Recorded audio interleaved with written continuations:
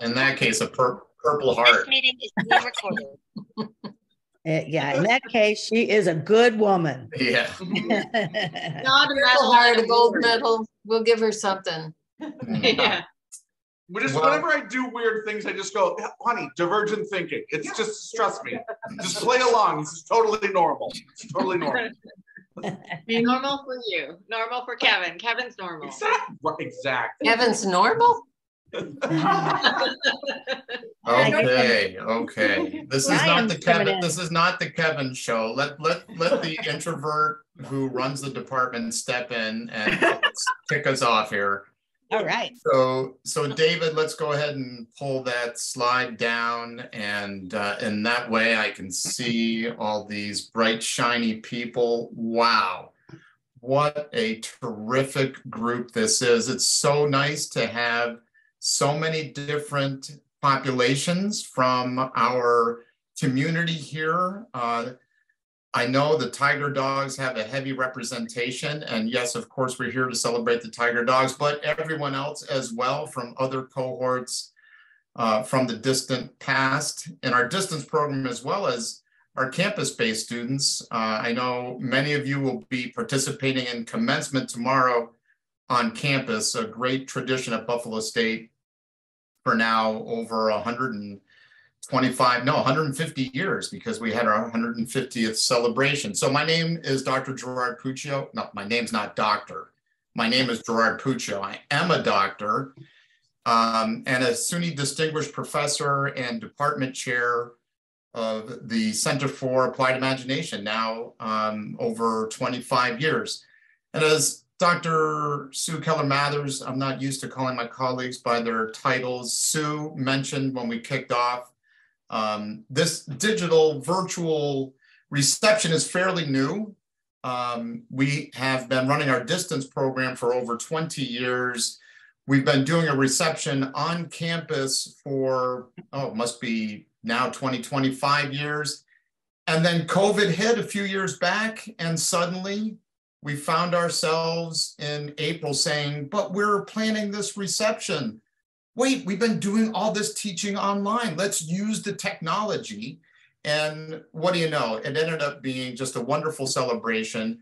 And because the uh, ability to use Zoom breaks down geographical and time zone barriers, we're able to now involve uh, students and families from around the world. So Welcome to our 2023 commencement reception.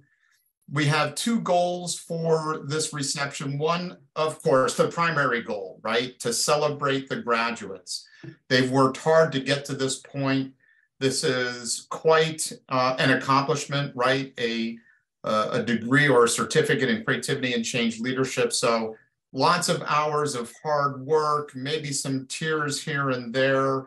So let's take a moment as part of an important ritual to celebrate our graduates. Second is to orient, if you will, family members and loved ones, those who have surrounded our students and showered them with love and support as they've made their way through the graduate program.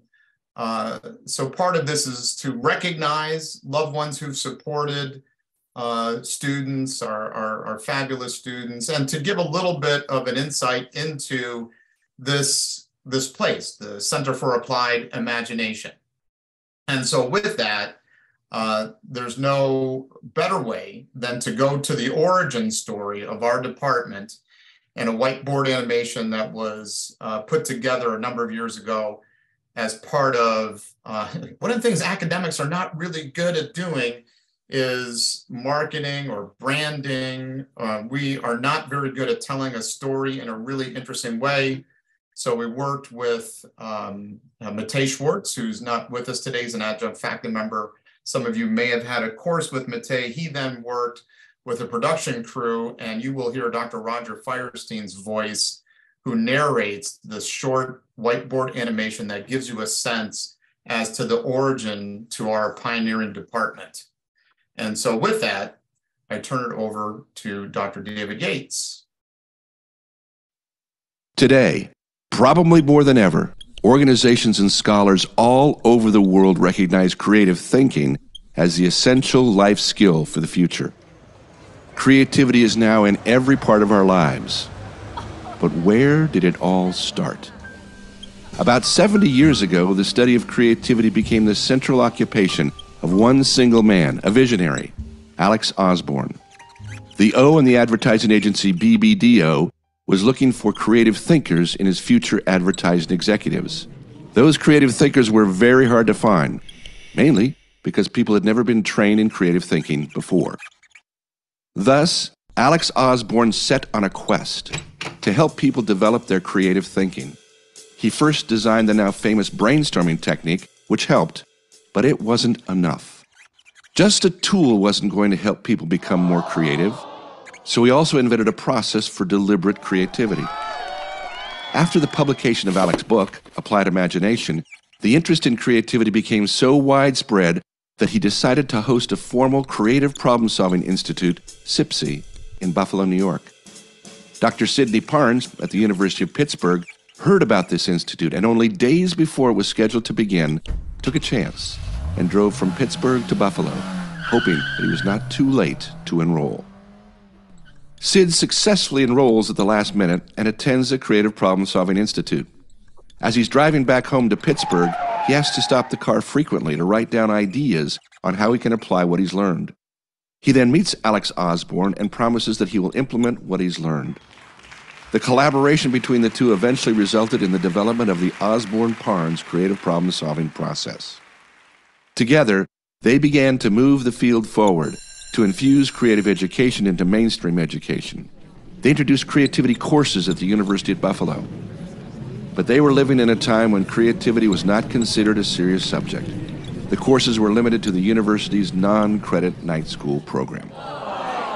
In 1967, Sid Parnes enlisted the help of his colleague, Dr. Ruth Noller, an esteemed mathematics professor at the University of Buffalo. Together, they set out to validate that creativity could be taught and deliberately nurtured. Together, having relocated to Buffalo State, they built the first academic program in creativity in the history of the world. Though the quest now seemed to be complete, something was missing. The academic world still mocked their view on creativity. They refused to recognize the program as formal education. The final step of their quest seemed impossible. Sid and Ruth had put their hearts into the quest. They felt discouraged and exhausted. But then, suddenly something changed. Bolstered by the success that their students told them about how the program helped change their lives, a new idea was born in their amazing visionary brains. What if they could prove once and for all that creativity could be taught? More determined than ever, they launched the largest scale study ever conducted on the trainability of creative thinking. When they were done, the Creative Studies Project proved beyond any doubt that training in creativity impacted people in more positive ways than any of them could imagine. People were changing their lives and changing the world. The academic world now had to accept this evidence, and Buffalo State approved the center's undergraduate and master's program. Since then, the International Center for Studies in Creativity has been in the hands of great people, continuing to research, teach, and develop creativity and creative thinking, not just in the United States, but around the world. Every day for the past 50 years, the International Center for Studies in Creativity has continued its never ending quest of igniting creativity around the world. My name is Roger Firestien, and I feel honored to have been a part of this journey for 40 years. The journey continues. Let's meet in class.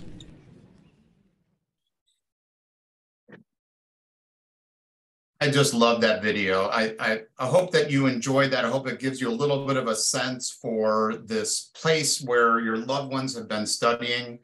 And yes, I do recognize the fact that I have referred to this center as the Center for Applied Imagination. We are a center for change. So every 20 years or so, just to confuse people, we change our name. And we changed it about two years ago from International Center for Studies and Creativity, which just rolls off the tongue to the Center for Applied Imagination. So I wanted to share the history of the department to perhaps bring a little bit of a sense of gravitas to the credential or the degree that's being earned by the student. It's not an exaggeration to say that Buffalo State University is the epicenter for the worldwide movement in creative education. Brainstorming was born here in Buffalo, just like the pacemaker and chicken wings, which were also born in Buffalo, been disseminated all around the world. So too was the creativity movement. And now, when we look 50 some years later, creativity has really come out of the shadows. The criticism, the challenges that Alex Osborn, Sid Parnes, Ruth Noller faced, we no longer face. Creativity is widely recognized and creative thinking and creative problem solving is widely recognized as 21st century skills. Tim Cook, recently interviewed for Fortune magazine, said the number one professional skill for success today in 2023 is creativity. We'd like to think that maybe we help to contribute to this discussion, but I think perhaps it's more the recognition that in a fast changing world, in a world where we're hit with pandemics and climate change and real social change issues, in order to be successful, one has to be a creative thinker. In order to be a contributor, one needs to be a creative leader. And that's what your loved ones have been studying is this essential life skill, this survival skill. And so we always start our reception with the highest award that the department can give an award that I hope many of you will be candidates for in the future. And that is the Creative Studies Alumni Achievement Award. This is a lifetime achievement award that is given to a graduate of the program who has gone out and contributed to spreading the word of creativity, has gone out and deliberately applied creativity in their communities, in their organizations, uh, and perhaps have impacted numerous lives. And so I'm going to introduce to you Gary Gorski, who uh, I was sort of totaling it up in my mind as I was getting ready for the reception. Gary helped to initiate the Creative Studies uh, uh, Alumni Achievement Award many years ago. Uh, I'm not going to say the number of years because uh, it's a big number, but I will say it was more than four decades ago. Oops, that still sounds like it was a long time ago. But Gary, over more than four decades, has single handedly kept the Creative Studies Alumni Achievement Award alive. We now, because there have been, given that history, uh, uh, a, a large number of recipients, we now have past recipients create, just so you know a bit about the process, a committee that reviews the full list of graduates and then they make a recommendation to the department. The faculty then reviews their short list and selects from that short list. So this is an award that is given by peers and recognized by the faculty. But the man who's been facilitating the award for these many years is Gary Gorski, and I turn the microphone over to Gary. Thank you very much, Gerard. Um, I'm honored to be here once again to do this. And uh, a little bit of the history, we'll start with the, the award. Uh, first time it was awarded was in 1984. And I'm gonna bring up uh, our plaque that we used. And uh, let's see if I can get my sharing screen going here because I seem to have, okay, so I gotta get on the share here.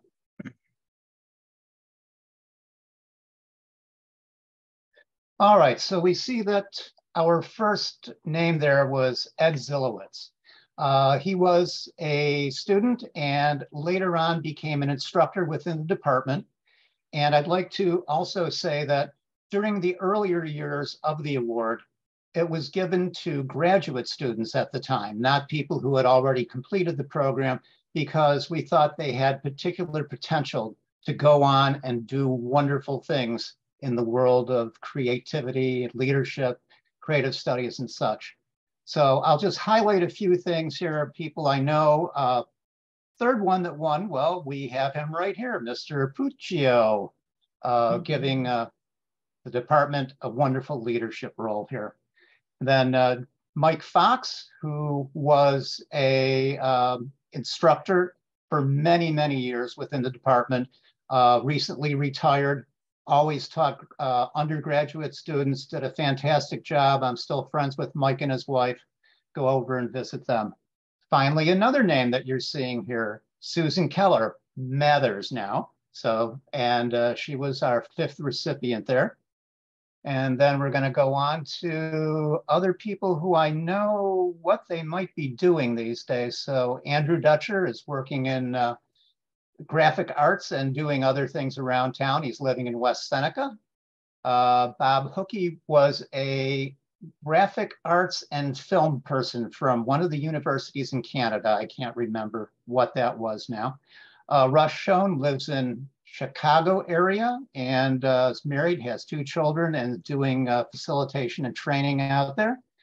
Uh, Russ Wheeler is in Atlanta and also doing training and facilitation out that way. I'm going to move on to our next slide here. Hopefully, there we go. All right, uh, Cynthia Argona, uh, Cindy Argona, and now she is also Cindy Burnett. So uh, she is, let's see if I can uh, find my notes here on that. Well, she's involved with a lot of uh, younger children teaching and people who teach children, very involved in education, has her own podcast and things for that. Uh, Diane Steele, it's unfortunate you can't see what Diane did, but she painted some wonderful stuff in the hallways and rooms up in up in the halls in the department. It was just great. Unfortunately, I don't think the college approved of it, and then they had to paint it over. Uh, Kristen Daly.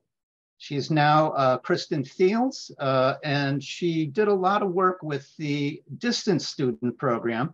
And she is now the director of continuing education at Buffalo State University. So she's done very well in there and still going strong.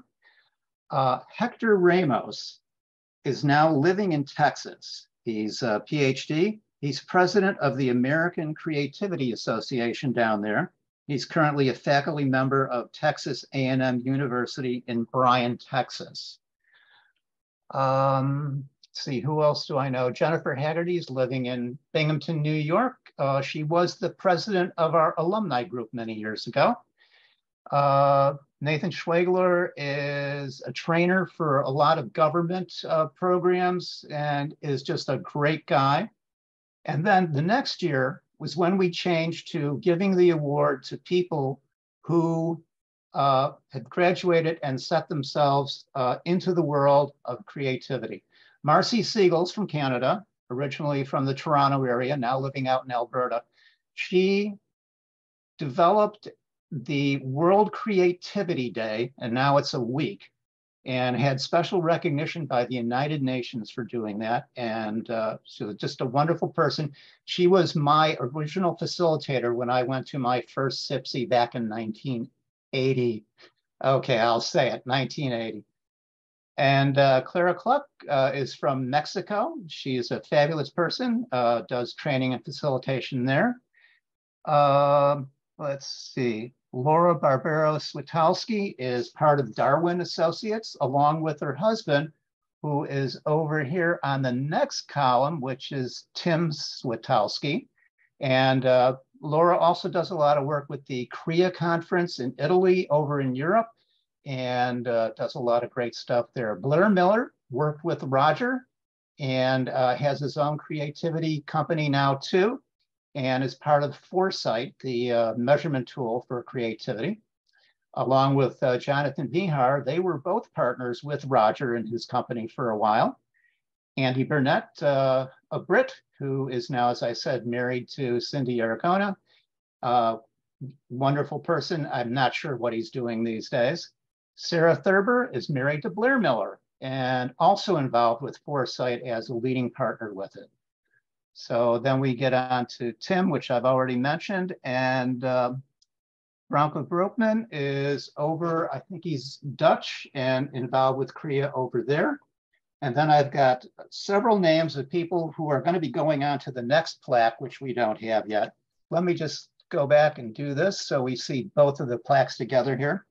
But in uh, 2020, Dorte Nielsen, who is from Copenhagen, Denmark. She's an author, uh, writer, presenter, trainer, speaker, founder of the Center for Creative Thinking in Copenhagen. In 2021, we had Ismet Mamnoon, who is known as Izzy, and she was very involved with the department while she was over here working through with that. She's a facilitator, an inspirational role model, and a culture coach. And then finally, last year, we had Dr. John Cabra, who had been with the department for many years. I knew John when he was going through his uh, graduate classes and then and then he got his PhD and has been working with the department, recently retired.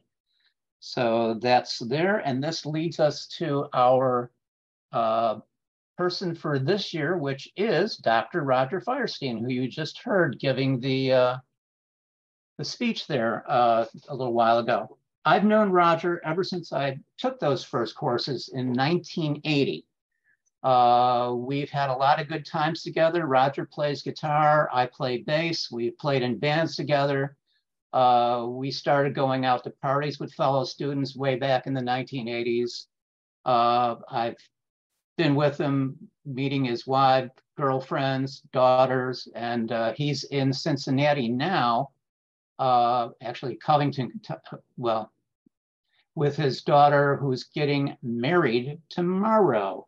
And she recently graduated from medical school. So she's a doctor doctor now.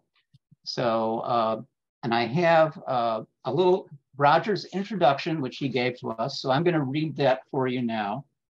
Uh, Dr. Roger Firestien has presented programs in creativity to over 600 organizations nationally and internationally, ranging from major Fortune 500 corporations, government agencies, universities, associations, and churches.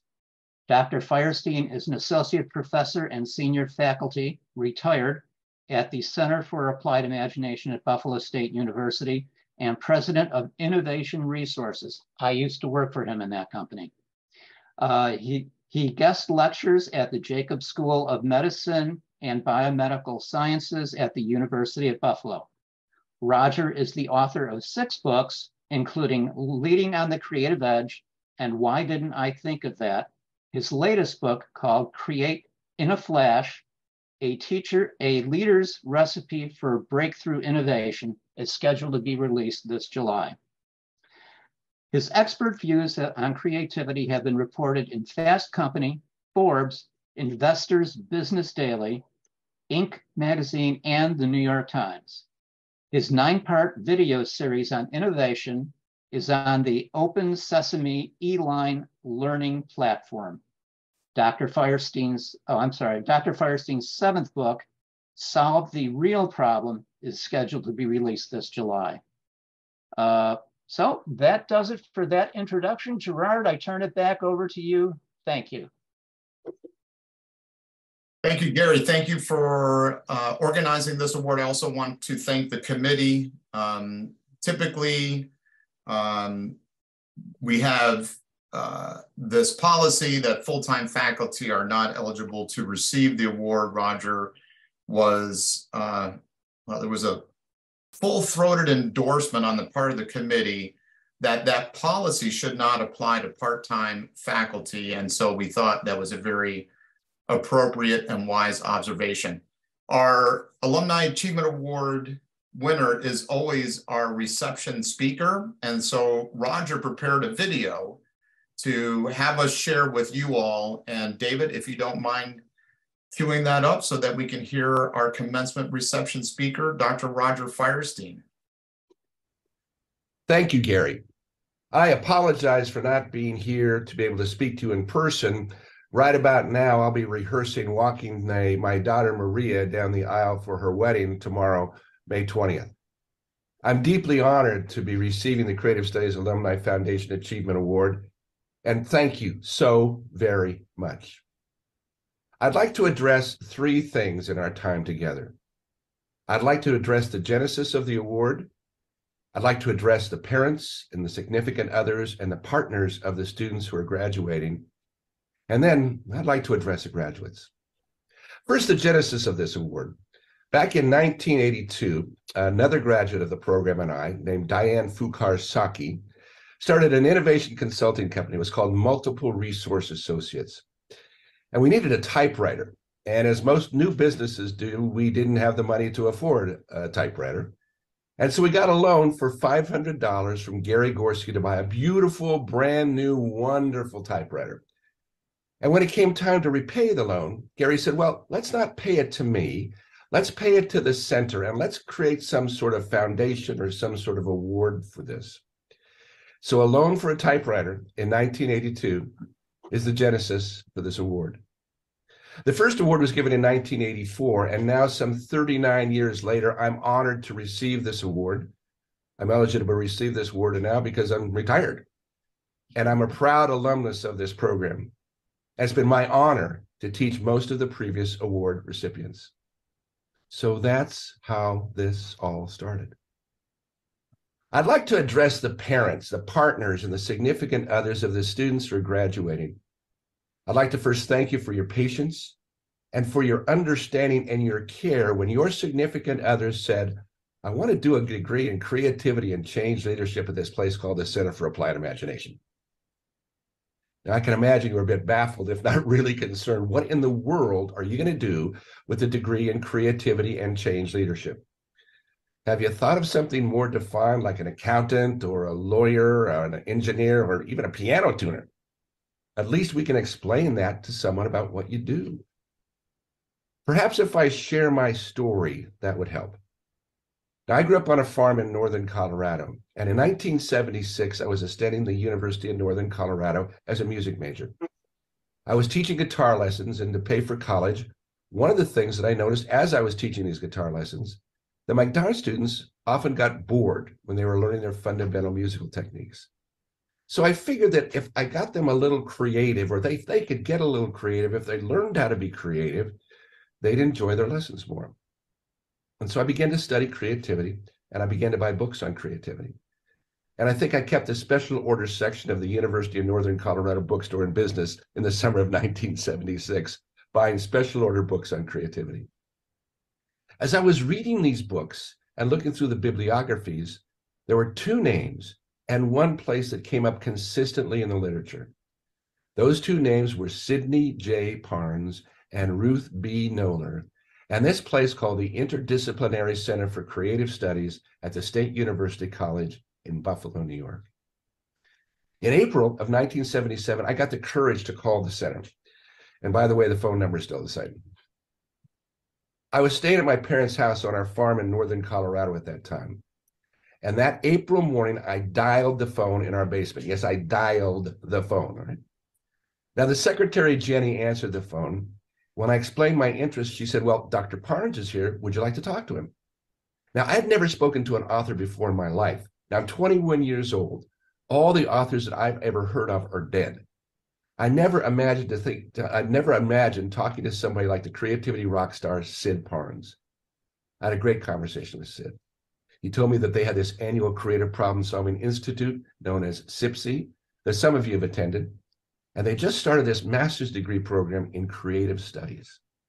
I hung up the phone. I ran up the stairs. I was so excited. I was shaking. And I said my mom, I said, Mom, I just talked to Sid Parnes in Buffalo, New York. Do you know what she said? She said, What? You just made a long distance phone call? long distance phone calls were pretty expensive from rural Colorado back in the 1970s. In June of 1977, I flew out to Buffalo I attended the Creative Problem Solving Institute. I took a class in the master's degree program, and I was on fire. When I came back to Colorado, my mom said that all you could talk about was your experience in Buffalo and your experiences with creative problem solving.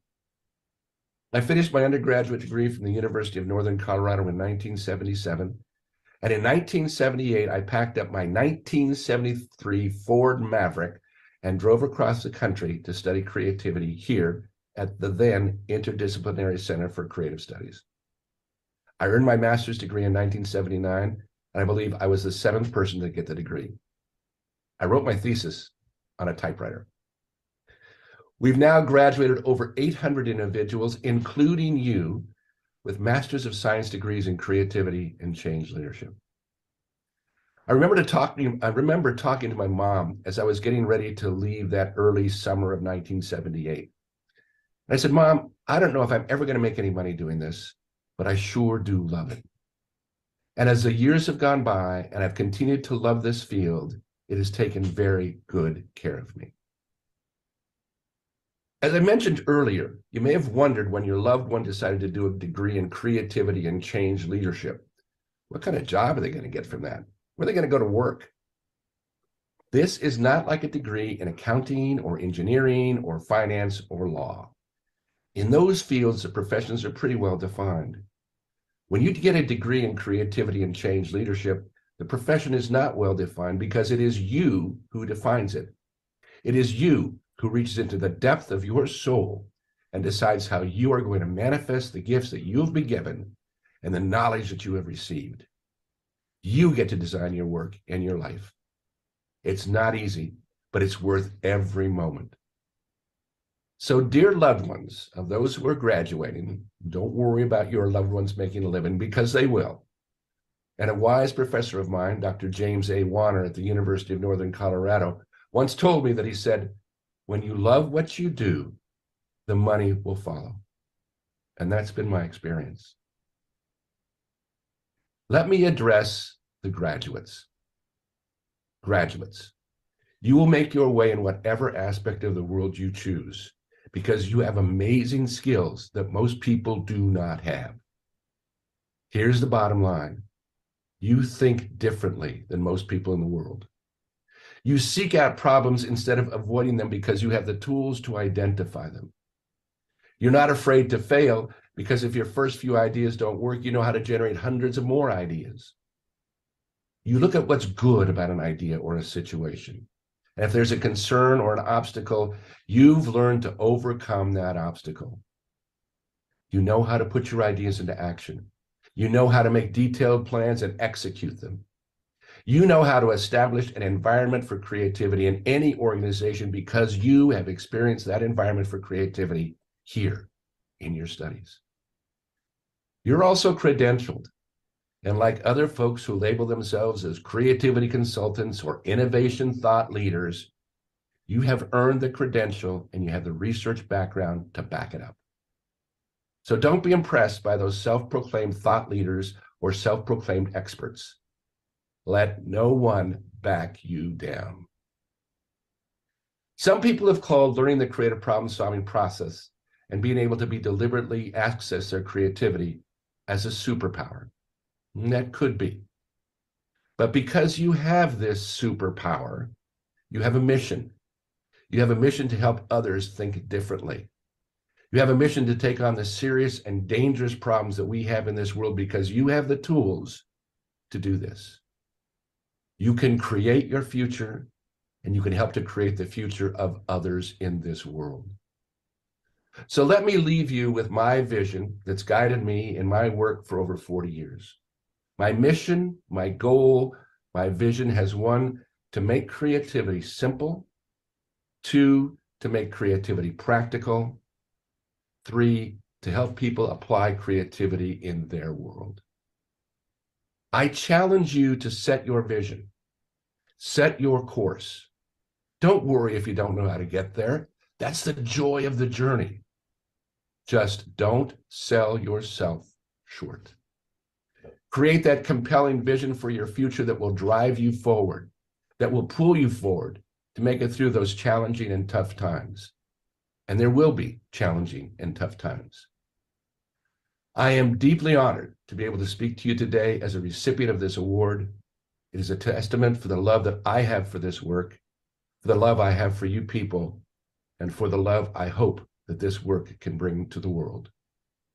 Graduates, Go out and change the world because you have a responsibility and you are creative. Thank you.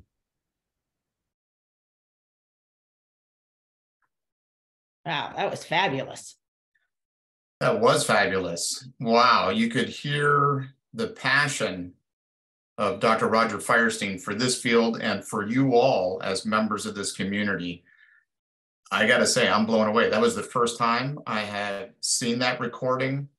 Roger was challenged to deliver a, uh, a, a motivating speech, one that came from the heart, and he delivered.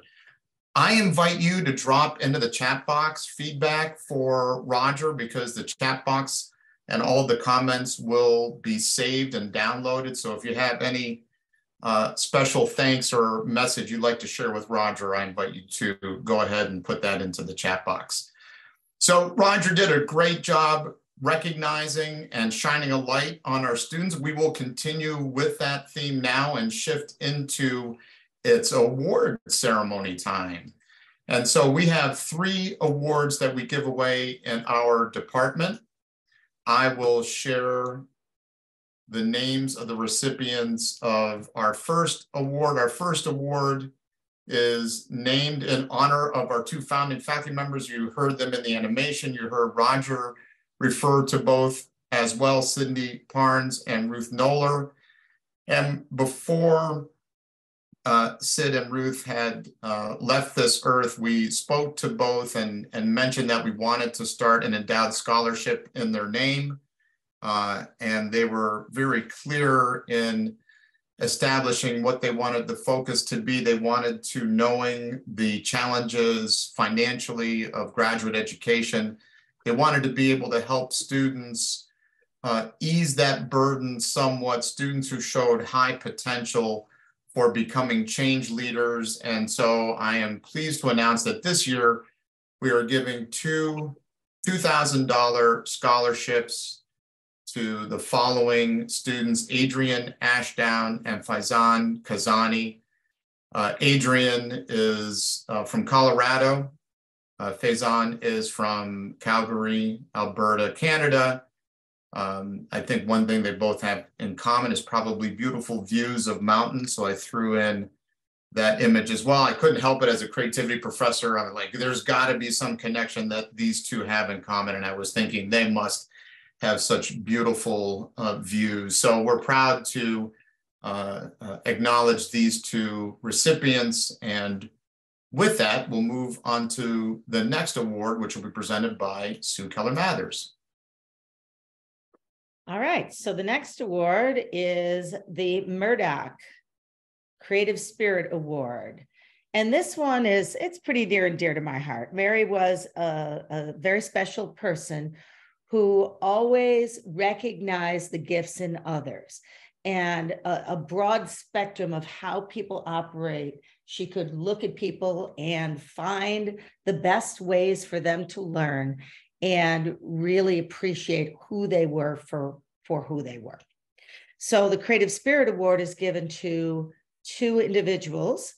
Um, and just a little bit more about Mary. She was a graduate student uh, worked with E. Paul Torrance for her doctorate, and then came to Buffalo State and introduced us all to the Torrance incubation model and uh, ways of teaching and learning that really expanded uh, the, the passion and the desire to continue the learning.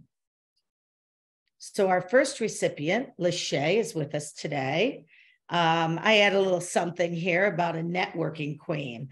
Uh, it's been amazing a short time that Lachey has been in our home program and the leadership role she's taking and the way she's connected and networked with other uh, individuals. So, and again, because it's a special award, it's it's for people who show that creative spirit, who show the kindness, and who show that ability and willingness and desire to really help others and help them rise up as well. So congratulations, Lachey, uh, for demonstrating that creative spirit. Adrian is our second recipient of uh, Vibrate Your Best Energy. That's her mission. She really wants to bring dance, visual arts, yoga, other areas in with the creativity field and make a difference. And she uh, texted me just a little while ago to say, I'm so sorry I'm not there, but my students are having their dance um, show, and I really feel like I need to be there for them. And I said, not a problem. That just again shows that creative spirit. So it, um, Adrian Ashdown is our other recipient of the Creativity uh, Creative Spirit Award in honor of Mary Murdock. So the next award is the Firestien Family Award. And again, because our Dr. Fi- by the way, your comments in the chat have already been sent to him. I'm making a pic, I'm taking a picture and sending. And he says, Sue, I'm on the way to the rehearsal. I'll read them. I'm like, don't read them in the car. You can wait. So I'll make sure that he gets them in a timely way. So I'm going to turn it over to Dr. David Yates, who will share with us the Firestien Award video, I believe. Good afternoon, everyone. I'm delighted and excited to present two Firestien Family Creative Achievement Awards this year. The Firestien Family Creative Achievement Award recognizes graduate students in creativity and change leadership who have demonstrated expertise in training other individuals in creative problem solving methods and techniques. A little bit about the award. The award was originally named the Firestien Creative Studies Achievement Award and I established it in 1999. In 2008, the award was recast to honor my dad, Chuck, who died in a tragic car accident in 2004. My mother, Ruth Firestien, and my sister, Judith Firestien, renamed the award as the Firestien Family Creative Achievement Award. And I'd like you to just spend a moment with Dad.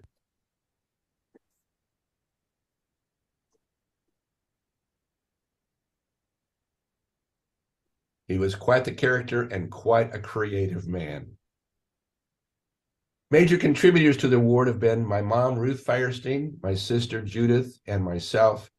And now I'm delighted to say that we're opening up the award for anyone to contribute to support future leaders and graduates. This year's award winners are Lashea Green and Syra Siddiqui. A little bit about Lashea. Lashea is fighting the war on poverty. Her job is to change the narrative from at risk to at promise learners. She is a master chef, and I can attest to that. Fantastic.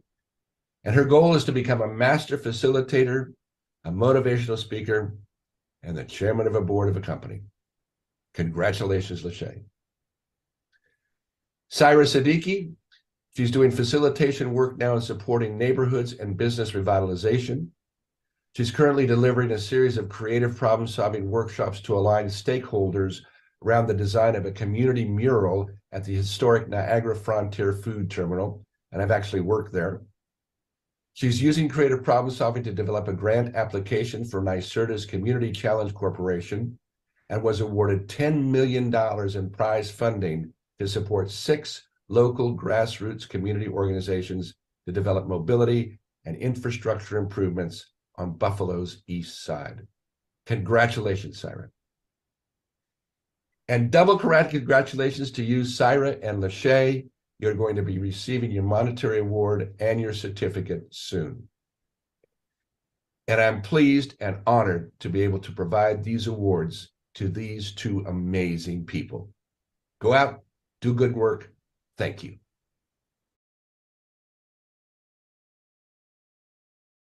Congratulations to all of our scholarship and award winners. We now will recognize all of the students who submitted their information when they registered for this reception. Susan Rizzo, our very skillful admin assistant, who's just a joy to work with, put together the slides for you. And our newest faculty member, Dr. Molly Holinger, who comes to us from the University of Connecticut by way of um, Miami of Ohio University. Uh, we're pleased to have Molly join our team. Molly has studied with James Kaufman and has crafted for herself, I think, a very important area of specialization within the field of creativity, and that is looking at how creativity contributes to well-being. So Molly has agreed to be our commencement reception reader warm welcome to Molly, to the reception, and to joining our team. Over to Molly. Thanks, Gerard, uh, for that wonderful introduction. Uh, so normally this is this is Roger's role. Um, and I don't have quite the voice of Roger, but I will do my best. I've been practicing my, my Roger impression. Um, so I'm, I'm very honored to uh, introduce our graduates um, and uh, the, the real stars of this evening.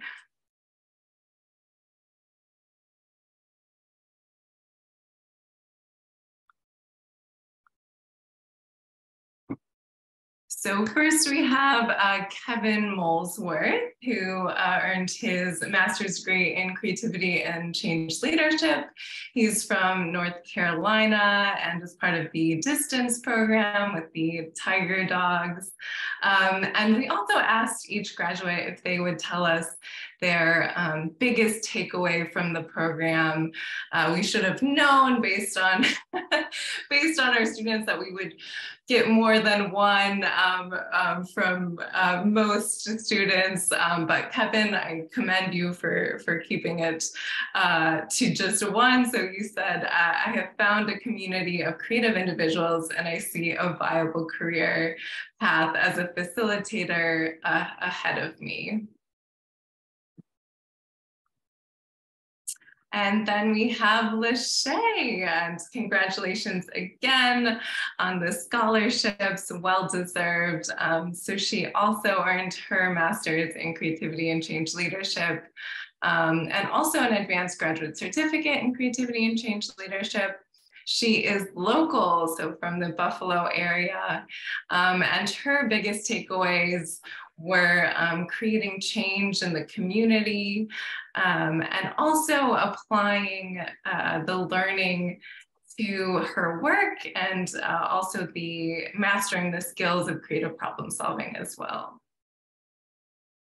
And then we have Ryan. So Ryan, uh, again, earned his master's and uh, micro credentials in applied creative thinking and creative education. He comes uh, from uh, comes to us uh, from a distance, um, from Colorado, um, and his big takeaways were um, learning about the power of exploring possibilities and change, um, and that influenced the way he approached all aspects of of life. So that's really amazing. Um, and also, the program increases understanding of the far-reaching power of creativity to impact any person person or organization, uh, no matter their personal background or professional fields. So congratulations, Ryan. And then we have Tahira, who I believe is uh, in Germany this morning uh, or today. I, I, received an email from her at, uh, at, like five in the morning, and I was thinking, what are you doing up at this hour. Um, and uh, so she is always uh, moving from place to place around the world. Um, and uh, she also, congratulations on earning your master's degree. She's from British Columbia, Canada, um, and also part of the distance program and the Tiger Dog cohort.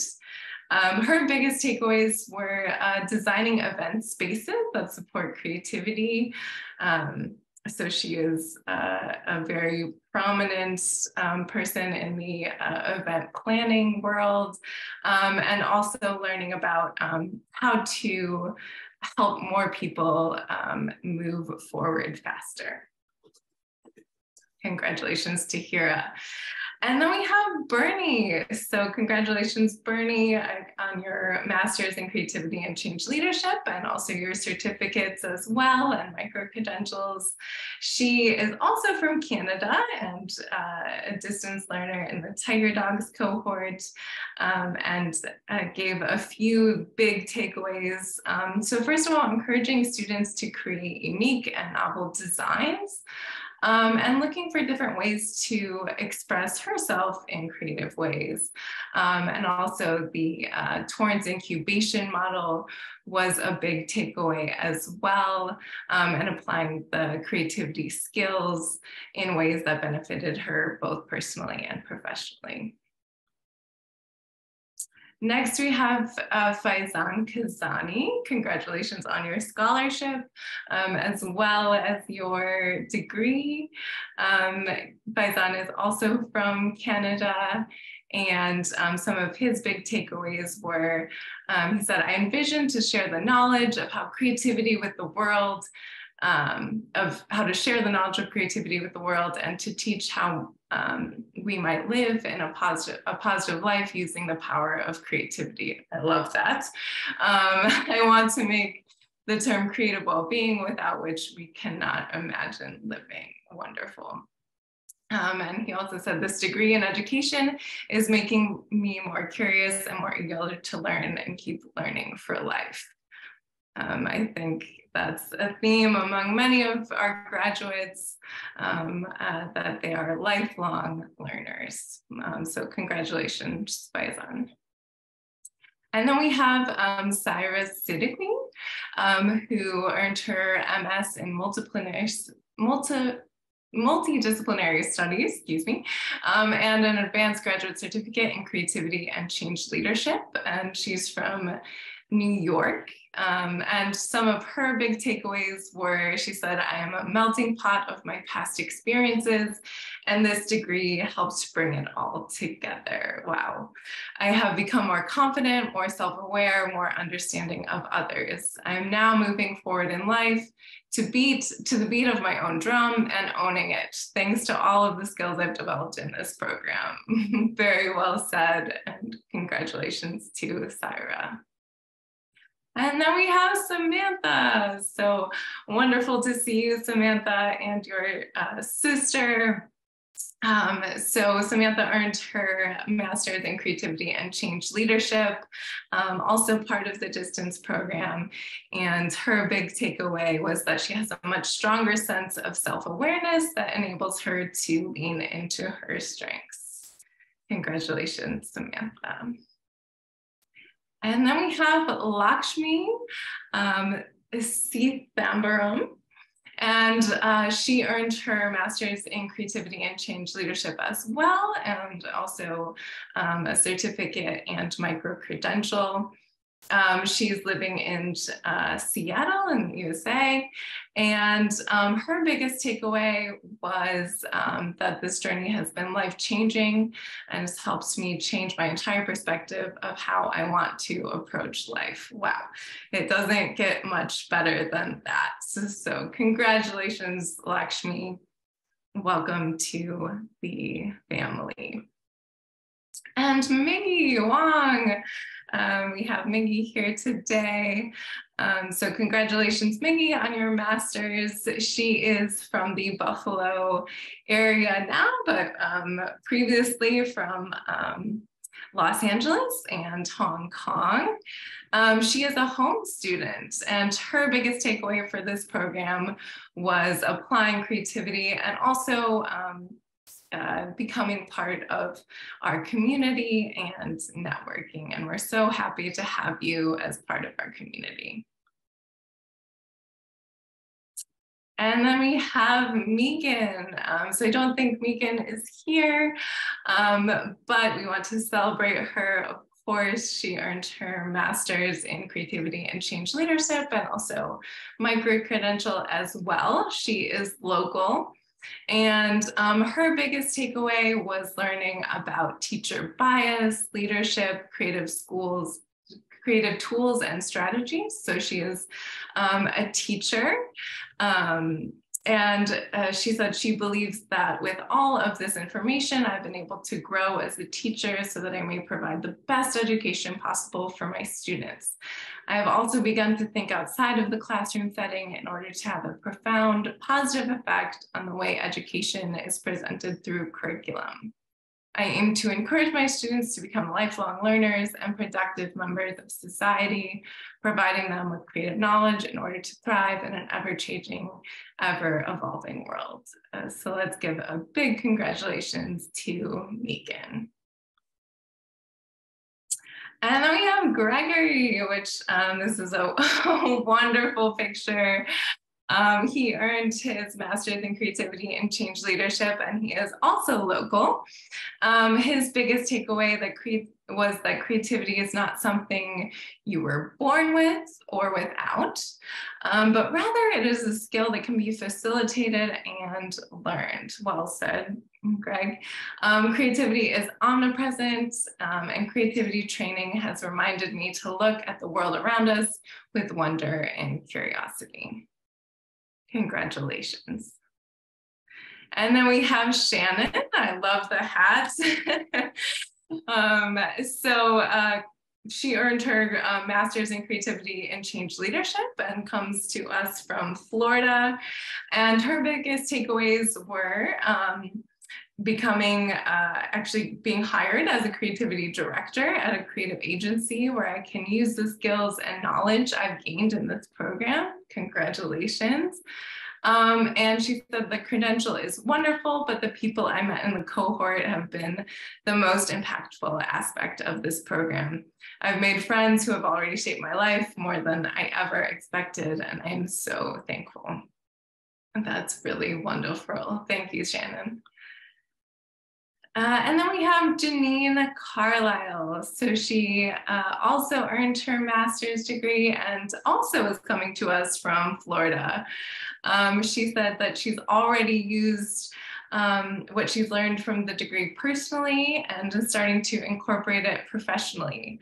I plan to use my education to enhance my professional skills and offer clients ways to view themselves as creative individuals who are able to solve problems, gain new perspectives, and attain goals. Anne Taylor could not be with us this evening, um, but she also earned her um, master's in creativity and change leadership um, and is from the Western New York area. And uh, this is a really wonderful uh, sentiment.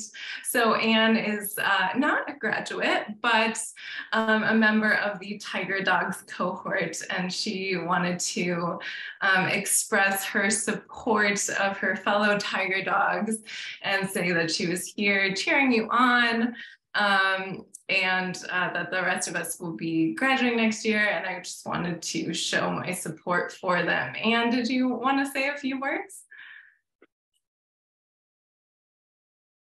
Oh my gosh, I didn't realize that photo was going to be shown. That's so funny.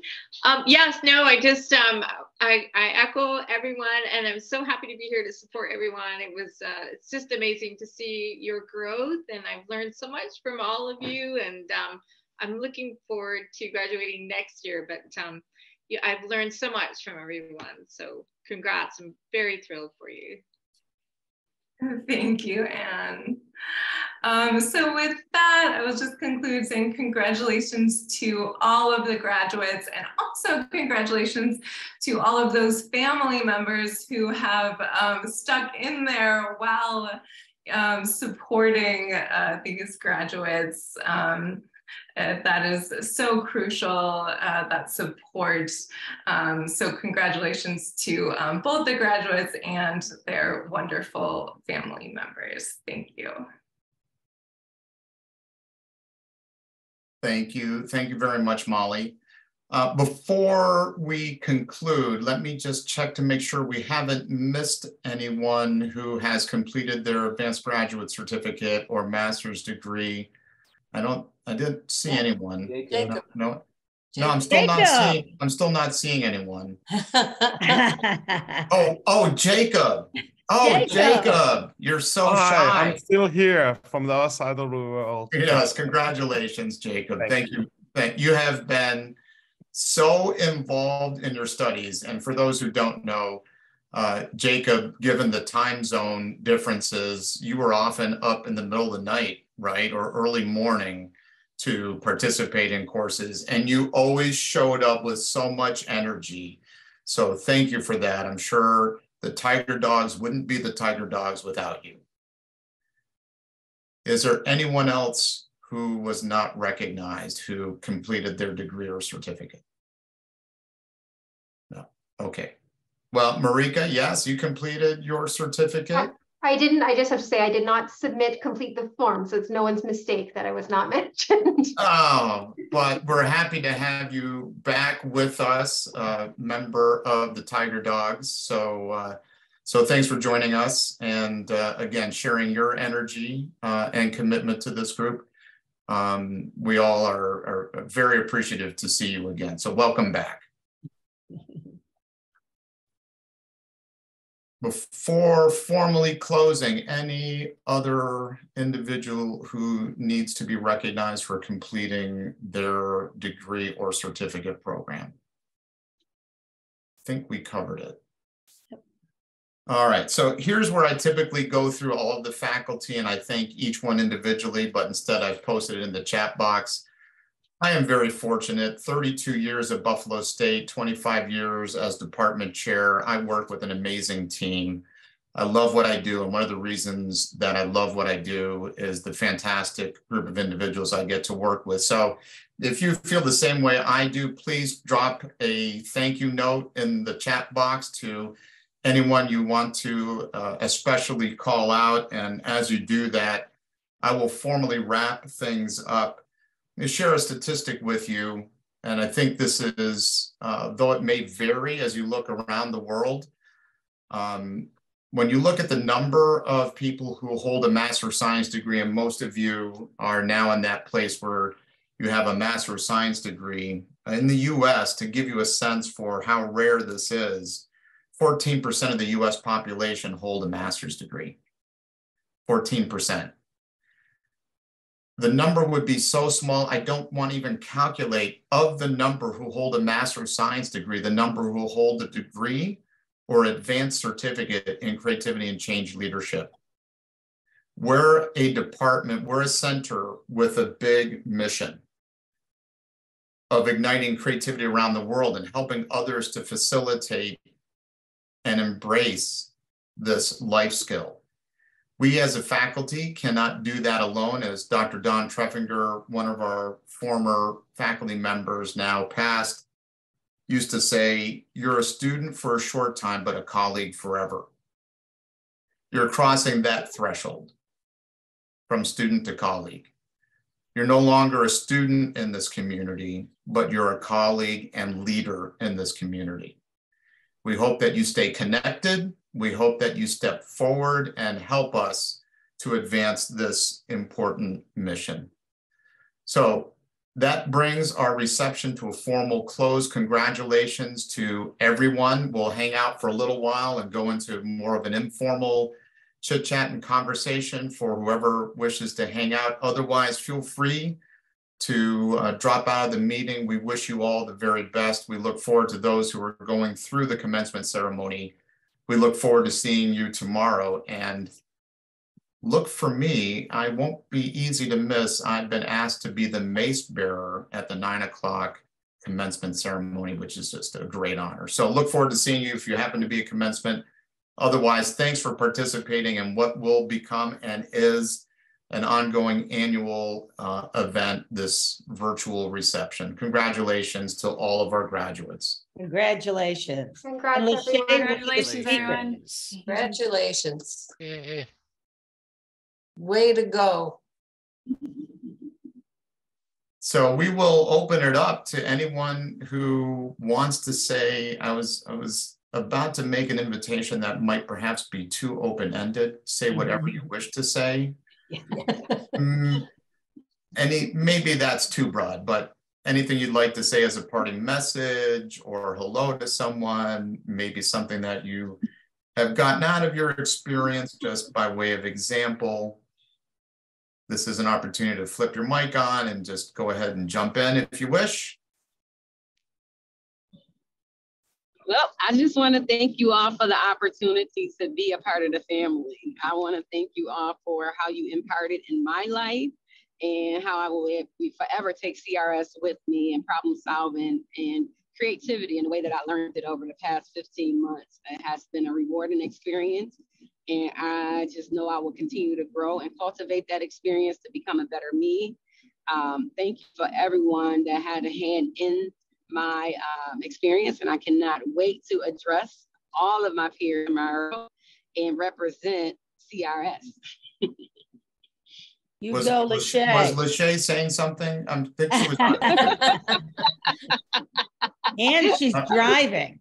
Yeah. I and did am. she- I'm like, I just left. They told me at 12:15 this afternoon they wanted me there at four o'clock to go over the speech. So oh my Uh, Oh. goodness. Lachey is one of our commencement speakers. She's representing the department. So, and Lachey, we could hear you, just teasing you. Thank you so much for that.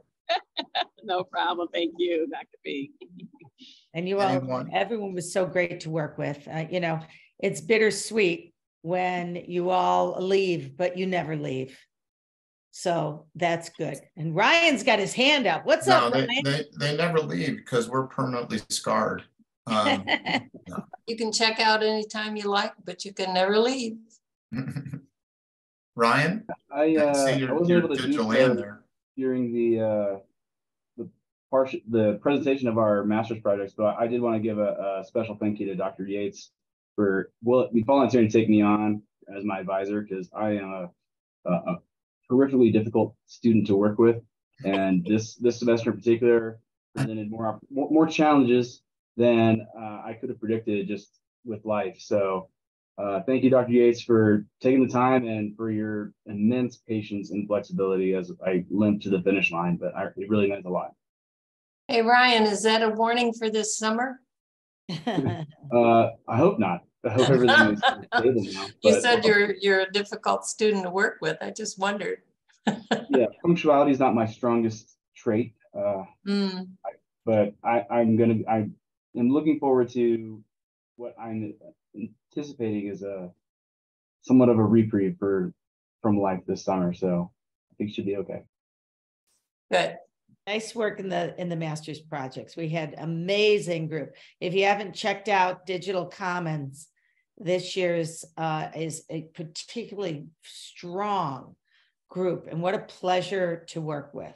Hmm. So, thank you all. And I don't know, if Run and, Ryan, and if- Roger. Ryan, we were, we were, we gathered about three thirty and we were going over the program. And uh, when I came into the Zoom meeting, uh, Dr. Yates uh, and a couple of other faculty were kind of debriefing the semester and you came up and uh, you're exactly right. You don't want to know the things that Dr. Yates said about you. Um, it, it just, my ears were burning. No, he, he thoroughly, he's maybe too bashful to say it, but he thoroughly enjoyed working with you. And he actually thanked us for giving him the opportunity work with you. So that should speak volumes to how much uh, he took away from that experience. So I'm glad it worked out so well. uh, going back to the idea of you know becoming part of the family james would always refer to the the creativity mafia he called it Yeah, so like the Bills Mafia, the Yeah. creativity mafia. Yeah. welcome to the uh, creativity mafia to put it uh, another way The tribe. Hi, everybody. I just want to say hi to everybody and congratulations. And I'm so happy to be here. I was a little late. I was working on a workshop, and I'm so happy to see some, um, you know, my students from last summer graduating and some students I will meet. Ryan, I, we finally meet you, I hope. We're giving a second try. Yep. Second time's a charm, right? and uh, you know, and Lakshmi, and so I see several uh, people who are already registered for 614. I I have to go, but I'm so you know happy to be connected with the family, as Lakshmi, as you say that, and uh, congratulations to everybody. It's uh, amazing to see what you all have accomplished, and you're ready to bring to the world. That was the most important thing. Bye, everybody. Bye, Laura.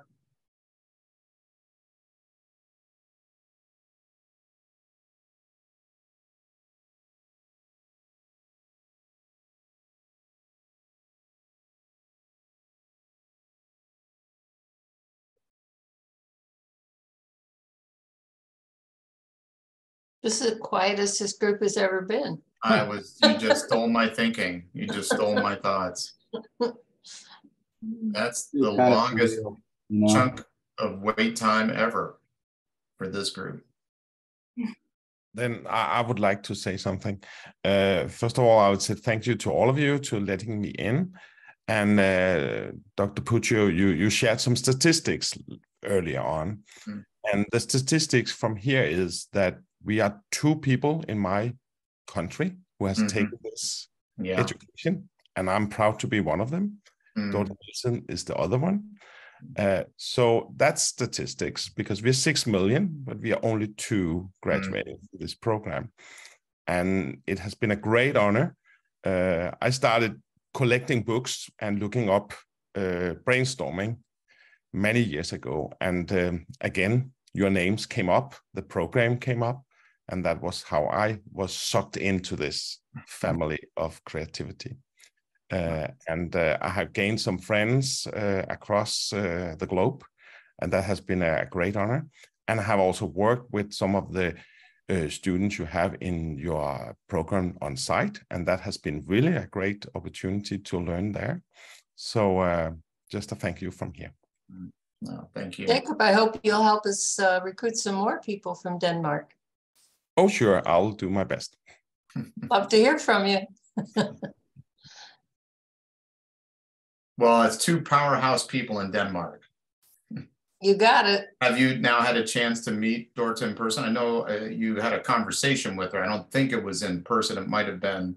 No, no, Over- unfortunately, we haven't met for coffee yet, but it's Mm. in the books, so we we, we will do that. Good, sure. good, good, Excellent.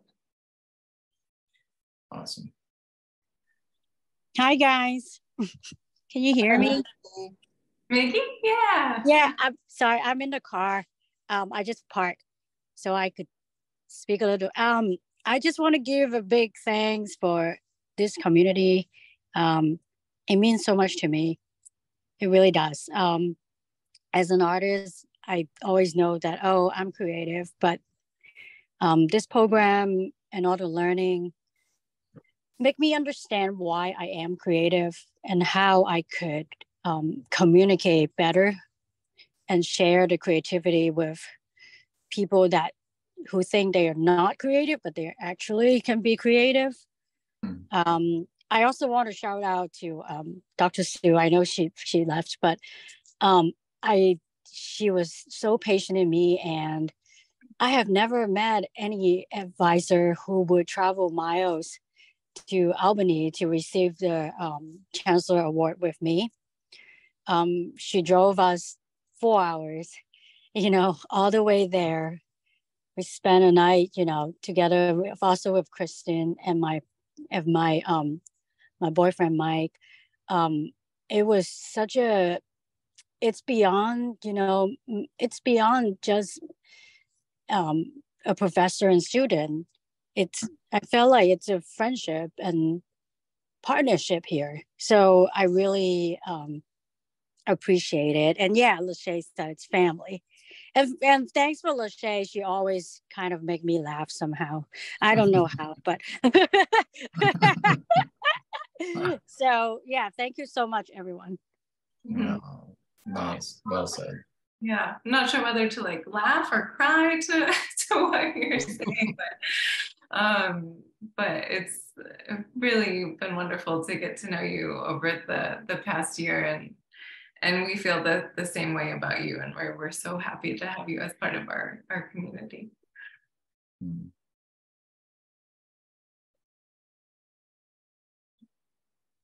I like to say to people that I live in a bubble, this bubble of creativity.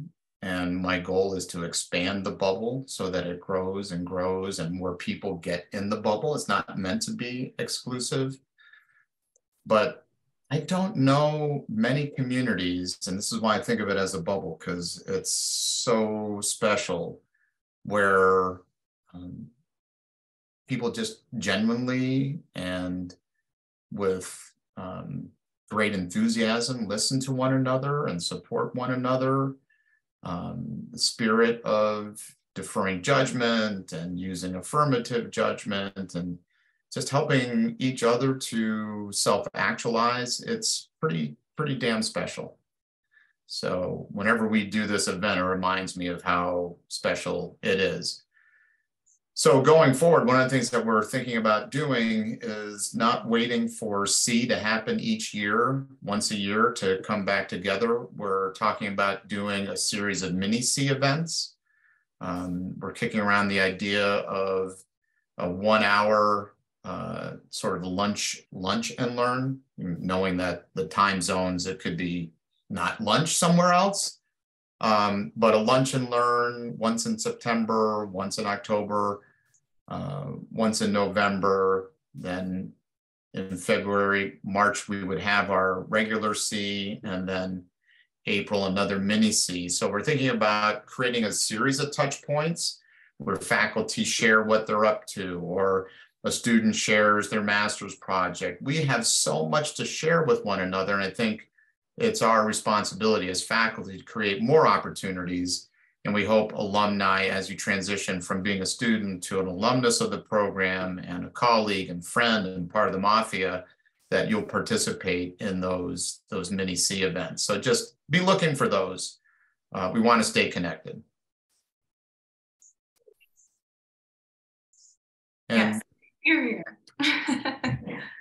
hmm. hmm. Um, I see your note, uh, Ryan, and uh, I don't know if Dr. Puccio has hit this group up yet about mentoring, but we're working on a mentoring program for all of the new students that are coming in. And we think that graduates would be awesome people to do that mentoring. Mm-hmm. Mm-hmm. So we'll be reaching out. We piloted a mentoring program uh, with the 635 campus students uh, this semester. It went extremely well um, on both sides. The mentees, of course, gained much from it, and it was reported to me that the mentors gained a lot from it as well. We were discussing it today, uh, Joe, Dr. Miller, and myself, and we're um, toying with the idea of expand expanding that mentoring program from not just one course, but when students get admitted into the graduate program, they're assigned a mentor and that person stays with them the entire program. And so they process courses and assignments. And to your point, Ryan, uh, for those who are particularly interested in the entrepreneurial side of things, that you know we team up a mentor with them who has that experience. So I think that's uh, an idea that we're going to give some serious consideration to. Yeah, I, I I feel like that's the one missing piece for me now is like I'm in a position where I'm finally gaining enough traction that I have prospective clients for facilitation, but mm-hmm. I have the request today to like send over like a menu of options with pricing. I don't even know how to how to evaluate this because mm-hmm. I've always worked for the government, so I've been told what I was worth. I didn't have to think about it, and yeah. uh, you know, I don't want to scare anybody away by overvaluing, but I don't want to set a precedent for undervaluing myself that then I have to overcome. So uh, that's just that's for me been like the more recent revelation is like I don't know how exactly to do that. So. Mm-hmm, mm-hmm. I've got two people who come to mind, uh, and my, I may be able to think of others. Um, but when you're working with Dr. Miller, you might uh, express interest. Um, in fact, I'm thinking Tim Switalski does coaching and has run a successful business. You have Blair Miller, you have Russ Schoen. Um, those are a number of people who come to mind. My colleagues may be able to think of others.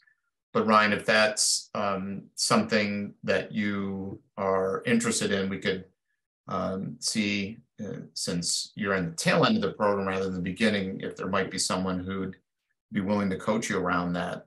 So, yeah, I'd be grateful. I'll, I'll send an email. Uh, okay, sounds good. That's yeah, I'd be very appreciative of that.